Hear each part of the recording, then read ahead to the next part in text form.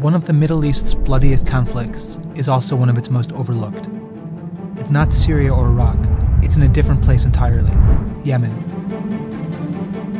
The 20 month old civil war there has killed more than 10,000 people and triggered a massive humanitarian crisis. But press coverage has been minimal, overshadowed by the fight against ISIS in Syria and in Iraq. In Yemen, one side has Houthi rebels, backed by Iran. On the other, you have the former Yemeni government of Abdrabbu Mansur al Hadi, backed by a coalition of 10 countries led by neighboring Saudi Arabia, who is ultimately also backed by the US. The civil war there erupted in 2015 when the Houthis, a Shiite group who received money and weapons from Iran, took up arms to overthrow Yemen's government, which is Sunni and backed by Saudi Arabia. The Houthis complain that the government discriminated against them for years, mistreating them on a large scale, and that their fight is a fight to be treated fairly. Many in the region, by contrast, see it very differently. They think it's the latest front in a shadow war between Saudi Arabia and Iran for control over the entire region.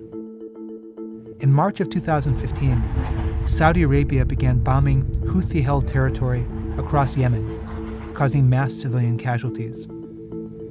They've destroyed targets ranging from marketplaces to hospitals, from schools, and even to a funeral recently where 140 people were killed in a single strike.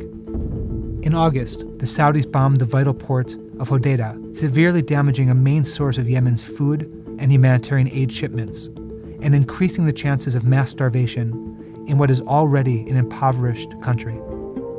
The indiscriminate bombing has prompted investigations by the UN for possible war crimes. But while the Saudis are leading this bloody campaign, the blame also spreads to a great power whose support is directly contributing to the carnage, to the United States. The US has supported Saudi Arabia militarily since World War II, selling arms, providing military aid, and training the Saudi military on how to use US manufactured planes, tanks, and other weapons. In recent years, Saudi Arabia has bought more weapons from the US than any other country in the world. Just since March of 2015, the U.S. has authorized $22 billion worth of weapon sales to Saudi Arabia. The most recent deal includes 20 Abrams tanks listed as battle damage replacements. The battle, of course, is Yemen. The weapons the U.S. sells also include cluster bombs, banned by most of the international community, and F 15 fighter planes, which is making up the vast bulk of what the Saudi Air Force is currently using as it bombs Yemen. But America's aid to Saudi Arabia goes way beyond weapon sales, and it's directly contributing to the current fight. That's because Washington is literally helping to refuel Saudi planes while they strike targets across Yemen.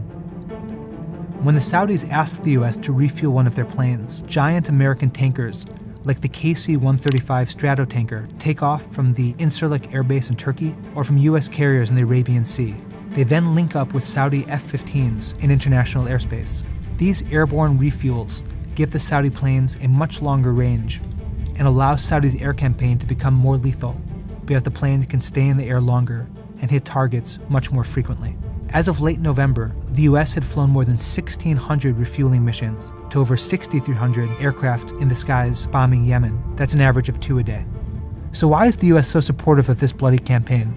The most important reason is the Iran nuclear deal. In 2015, the Obama administration offered to drop its crippling economic sanctions on Iran in exchange for Iran limiting its nuclear program. Without those sanctions, Iran's political and economic power has significantly increased, making Saudi Arabia nervous that their enemy will gain new influence in the region, in countries from Iraq to Lebanon, and from Syria to Yemen. Now that Iranian influence is in Saudi Arabia's backyard, the Saudis fear that Houthi rebels loyal to Iran will now be literally on the footsteps of their country. They want U.S. help beating them back. Secondly, the intervention in Yemen is also a part of the U.S.'s broader counter-terror strategy for the Middle East. The goal of U.S. policy in Yemen is to make sure that Yemen cannot be a safe haven that extremists can use to attack the West and to attack the United States. Yemen is home to the most active and dangerous branch of Al Qaeda.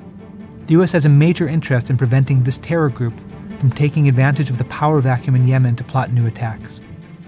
Finally, the U.S. is honoring one of its longest standing and most important allies. Since World War II, Saudi Arabia has been a vital partner against communism and now terrorism. The Yemen campaign is a high priority for Saudi Arabia, and that makes it a priority for the United States. But as the war devolves into a bloody stalemate, the administration is increasingly worried about being complicit in potential war crimes.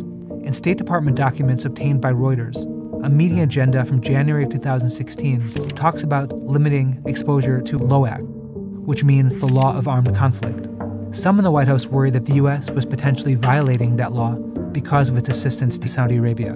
In those documents, State Department officials also discuss the implications of a 2013 International Court decision implying that if the U.S. were to provide practical assistance, encouragement, or moral support to the Saudis, the U.S. could be charged with war crimes itself. In an effort to avoid this, the U.S. issued a no strike list to the Saudis to try to mitigate civilian casualties. It included things like known hospitals, universities, schools, cemeteries. The Saudis appear to be ignoring it. The UN estimates 10,000 people have died in the fighting, that 370,000 children are malnourished, and that 10,000 other children have already died from preventable disease. Nearly 3 million people have been pushed out of their homes in the last year of fighting alone. Truces have come and gone while hopes for peace talks falter. The Houthis continue to run the government in the capital of Sana'a, raising questions about what Saudi Arabia has actually accomplished and whether any of it could possibly be worth the cost. Here at home, in Congress, some lawmakers from both parties have talked about stopping weapons sales to Saudi Arabia until it does more to keep the air worn Yemen from causing massive human rights abuses. Others argue that America's relationship with Saudi Arabia is so important that the U.S. needs to keep selling weapons despite the carnage in Yemen. The Obama administration, for its part, has repeatedly urged the Saudis to do more to avoid accidentally hitting targets like schools and like hospitals the White House has also condemned individual attacks. But the reality is that the U.S. finds itself increasingly complicit with the actions of a coalition led by Saudi Arabia. That means President Obama will leave office with America helping an ally fight a bloody war, causing mass civilian suffering that shows no signs of ending. And that is not a legacy to be proud of.